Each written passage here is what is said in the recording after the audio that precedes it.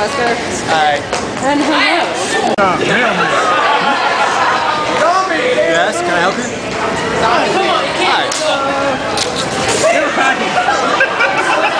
Why do we have a zombie Sailor Moon? Because we do, apparently. Because we do?